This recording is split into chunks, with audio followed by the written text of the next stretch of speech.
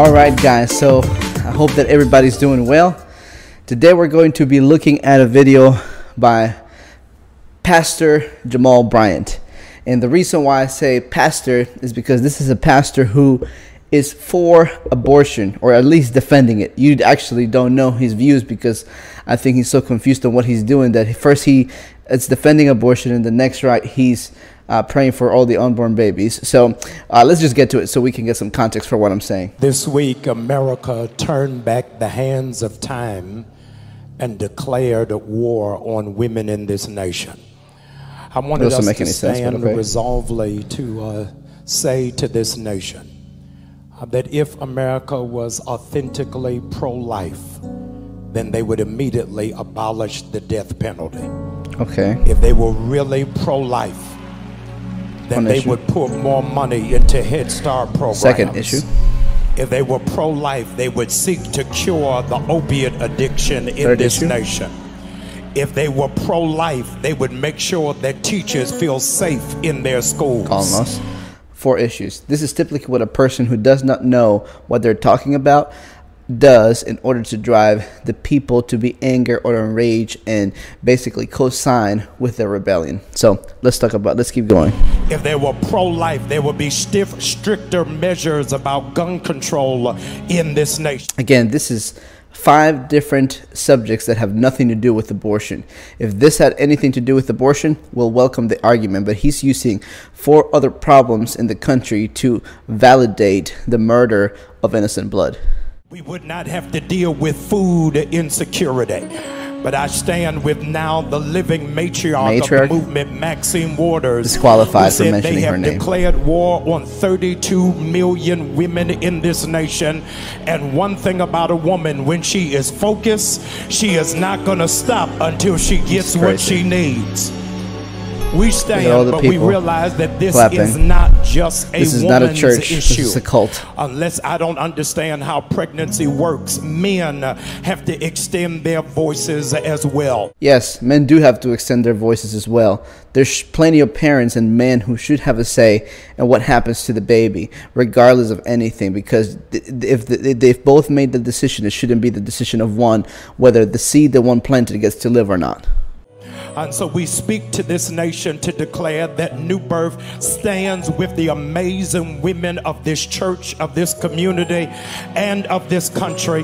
That women have the right the, to have authority the over right their here, body. And it right should there. not be legislated by men in Washington, D.C. Let's hold on one second. He's got a problem with men legislating in Washington, D.C., what happens to women's rights, but he's a male pastor advocating for women. So, what's the problem here? Why would a male be against other male making a choice for somebody else?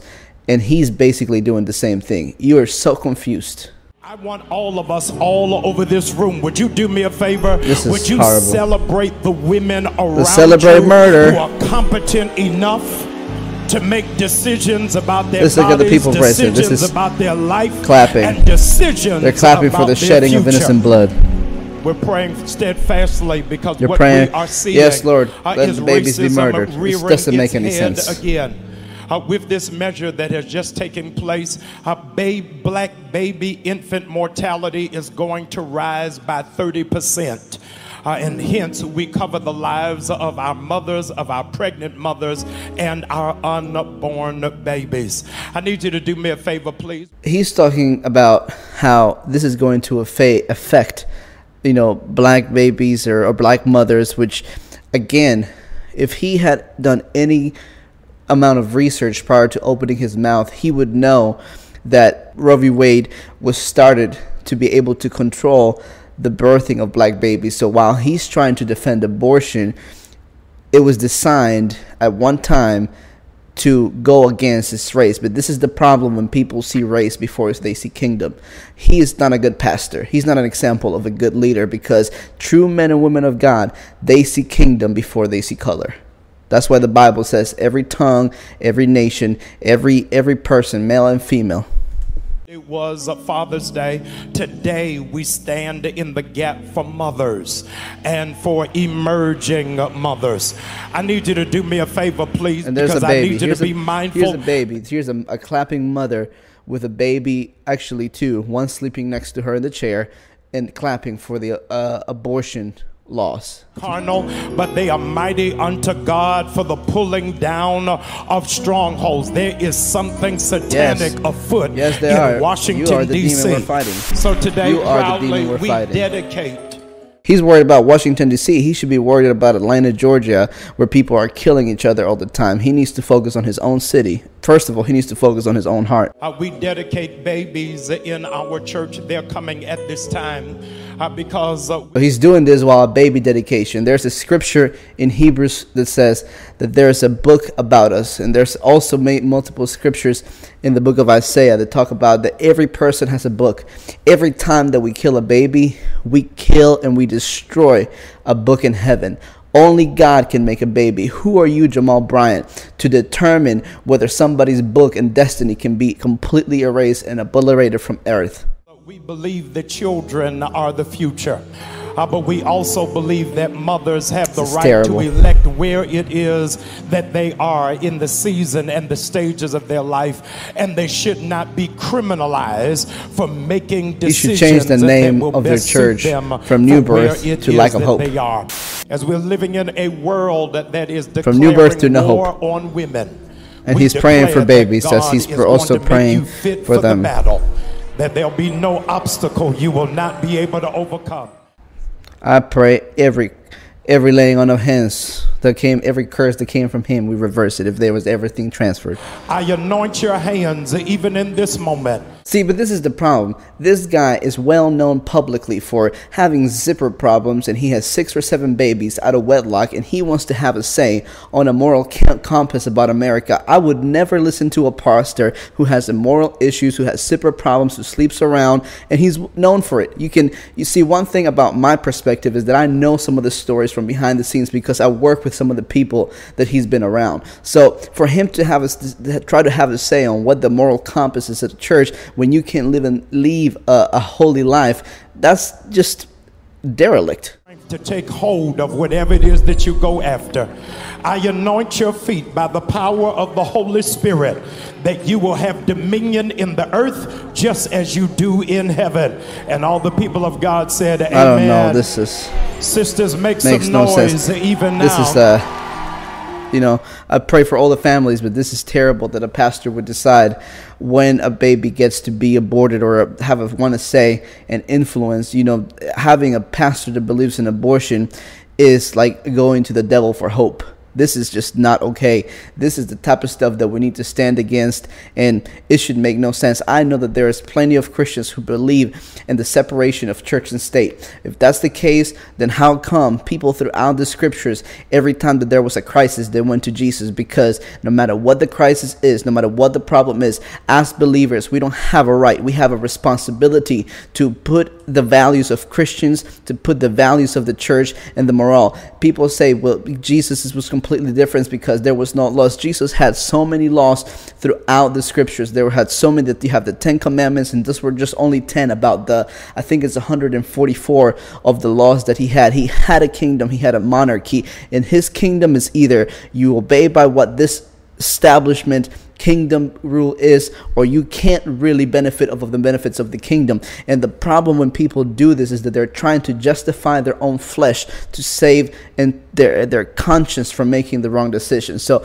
this is absolutely disgusting that somebody like him would make a perhaps claim of trying to stand up for women. And you're saying that you're declaring a war on women but you're not you can't speak for all the women because not all the women but stand for what you stand for. So this is absolutely sad. It's disgusting. It's irrelevant. He has no idea uh, what he's talking about quite frankly. And i really pray that god would release the fear of the lord on him and terrorize him with the fear of the lord. Let the terror of god cover, come over his complete mind so that he can understand holiness and not try to be a moral compass when he himself has sin issues This is unbelievable. Well, guys, this is we're gonna be doing more of this, and we're gonna have a voice because we can't just let all this stuff go by and think that we, as people and believers of God, can't have a say uh, in what happens in the earth. You know, if they are vocal against us, then we should be able to be vocal against it. Uh, we should stand for God. We should stand for moral righteousness. We should stand for holiness. We should stand and believe God to be the husband of one wife. We should not be in uh, sexual promiscuity issues. We should not be standing against um, something that really God Himself hates as the shedding of innocent blood. Um, it's a, a, a, completely absurd. But we're going to believe God. We're going to continue to pray. Um, and God can redeem. If there's anybody who watches this, my wife had two voluntary abortions before she got saved. But God still gave her a baby and redeemed the cost of what was going to happen. And it's just amazing how her testimony works. I'm going to clip it at the end of here. And you can watch um, her testimony and you can also watch our baby dedication as well. So we just pray that this, this this blesses you and don't be afraid to speak up against the issues that are happening. You know, I don't really care about getting canceled or getting frustrated or hate mail from any people that watch this. Uh, there is a cause for the kingdom, and we should stand for what we believe. My parents were divorced when I was young, maybe when I was about three or four years old. So my dad wasn't really around and I really spent a lot more time with my grandparents more than anything. Um, my mom was there, but she worked a lot, and she just kind of allowed my grandmother to have more of the authority of caretaking for me and stuff like that. Um, so fast forward to my teenage years, um, I got involved with a boy in school, and he was just a really abusive, emotionally, physically, sexually. Um, he would basically forced me to have sex in different places, and he would get mad if I said no. And so that, this was the relationship that was that I was in, and I just didn't know how to get my way out of. Um, but anyway, I ended up getting pregnant twice um, throughout that relationship, and my mom made me get an abortion both times. Um, so I basically had no say in those decisions. And then I ended up getting pregnant a third time with him. And that time I finally decided I wanted to stand up for myself. And I said, no, like I'm going to keep this one. But I ended up getting a miscarriage.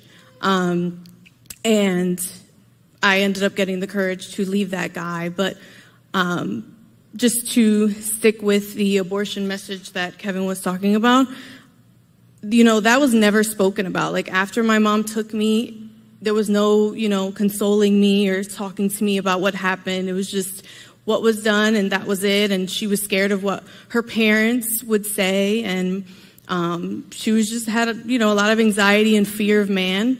And that just goes to show how far fear of man can go. Like I know we hear it all the time, like, oh, you know, pray against fear of man and, you know, fear God instead. But like seriously, like fear of man, look how far it can take you. It can take you to just disregard all your morals and what's right because you're so afraid of what somebody else is going to tell you.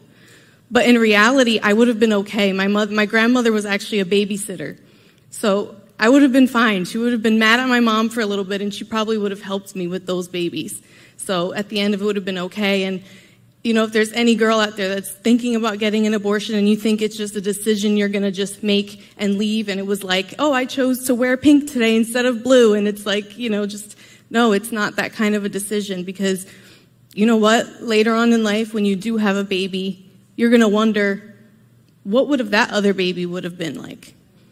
Because I didn't think about any of that until I had my son recently and I saw the end result of a pregnancy and I was like, wow, like what would have those other children would have been like, you know? It's not like God says, oh, you know, you got rid of that one, I'll just remake him again, him or her again in the same form. No. It's a totally different human, totally different destiny that could have been there. Um, so, anyways, fast forward to my early 20s. I um, still lived in the world just full of shame and fear and anxiety, and I was super shameful of that past of that guy that I was with. Um, still having sexual partners with my boyfriends, whoever I was with at that time. Um, and then my mom ended up getting saved at some point, maybe when I was 22 or 23, but I still didn't understand. I didn't really want any parts of it. But there was one day Nobody was at my house. And I turned on the TV, and it was still on a message that I guess my mom was listening to. And um, I just wanted to watch it that day. And at the end, they did an altar call. And at that moment, I went on the floor and I had my hands up. So God's God's mercy met me there in my living room. I had no plans of going to church. I had no clue about Jesus. I had never read the Bible in my life. And from that day on, I read the Bible three, four hours a day at my mom's house. Like, I had always read it. It was just supernatural. I went from knowing nothing to just consuming God's word daily and worshiping in my room by myself. Like, I was just eager and so hungry to just change everything and just realizing the mess that I was in because I actually, I honestly didn't realize it. Sometimes there's people in the world, they think if they're not a murderer, if they're not, you know, whatever, they think I'm a good person. They don't need to be saved. They don't realize they need to be saved. And that was me. And so God's love showed up and God's light showed up and I realized that I did need salvation. So, um, yeah, I got saved at that moment and had a little hiccups in the beginning, but once I submitted to the process, like I said, I was, I would, I would do deliverance on myself in my mom's room. I would, um, worship by myself. I would read the Bible three, four hours by myself. And um, the Holy Spirit told me to get a church, to go to a church and find one, and I did. And I ended up meeting my husband maybe about a year later. And um, before I met him, I actually made a promise to God. I, I bought myself a ring, a purity ring, and I said, I'm not getting married or I'm not dating. I'm not even going to talk to anybody until you show me who my husband is. And he did. The day Rodrigo flew in for a conference that was happening at my church, uh, I had a dream that we were on a date. So I knew, to me, I think that was, he, God knew that I was so set on, unless she showed me, I wouldn't even pay attention to a guy. He knew had, he had to send me the dream. so, um, yeah, I met my husband, we got married, and um, we had a little bit of trouble getting pregnant. Like about a year, year and a half, we tried, and I was starting to get worried. Like, is it because of my past? Even though it was 10 plus years ago, I'm like, did something get messed up? in, you know, my reproductive system, but God would always tell me it's going to happen naturally. Don't worry. And just wait on the Lord. And I just waited and I prayed. And me and my husband decided we are going to pray together. And we prayed consistently for maybe 10 days or so when we really were want to buckle down and have a baby. And before I knew it, I found out I was pregnant. And even a month before I found out I was pregnant, I had another dream that I gave birth to a baby boy named Mateo. So I had a dream that I gave birth to a baby boy named Mateo, which means gift of God. I saw you in a dream while you were forming in my womb. I saw you in a dream and I even heard your name while God was forming you. He was forming me so I could be the mother of your destiny. God selected me to be your mother. Selected you to be my child. God selected me to be your mother. God selected you to be my child. Oh, you're not an it, you're not a thing. Only God can make a baby. You're not an it, you're not a thing. Only God can make a baby. You're not an it, you're not a thing. Only God can make a baby. You're not a thing. You're not a thing. Only God can make a baby. And that's why God selected me to be your mother. God selected you to be my child. Oh, and God selected me to be your mother.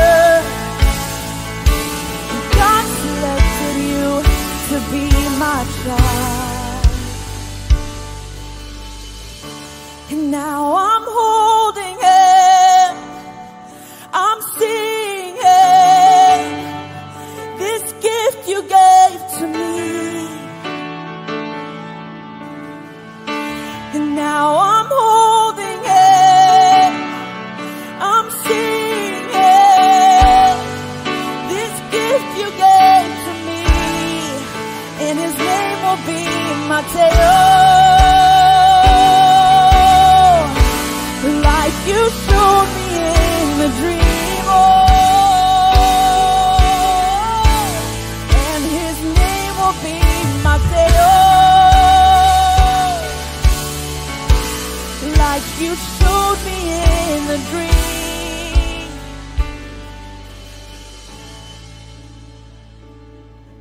I'll sacrifice for him like you sacrificed for me. You're my letter to the future that I will never see. Oh, I'll sacrifice for him like you sacrificed for me. You're my that I will never see. Oh.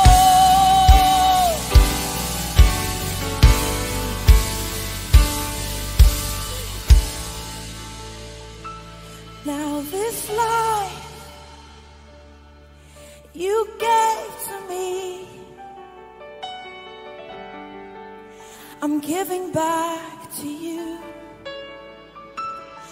Now this life that you gave to me,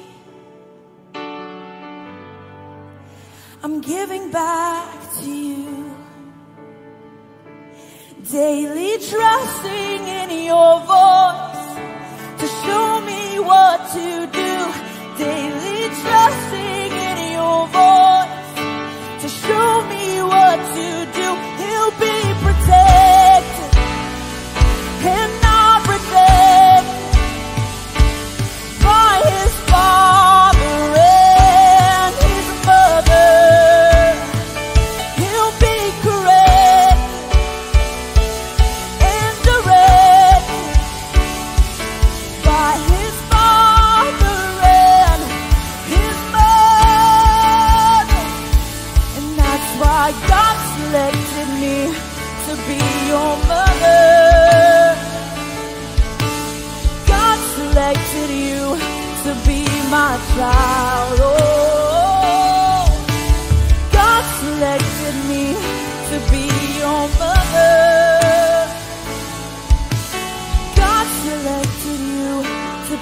My child.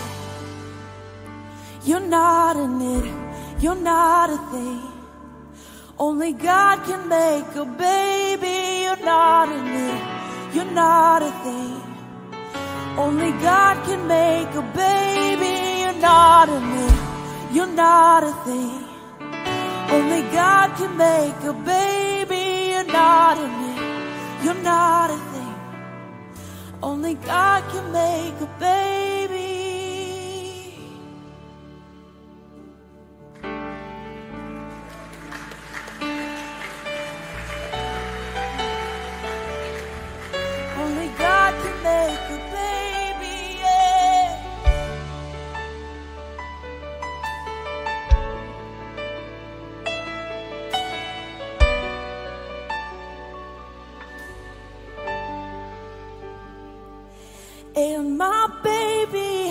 Two daddies, one in heaven, one on earth. I'll show you how to love them both, touching heaven, touching earth. My baby has two daddies, one in heaven, one on earth. I'll show you how to love them both, touching heaven,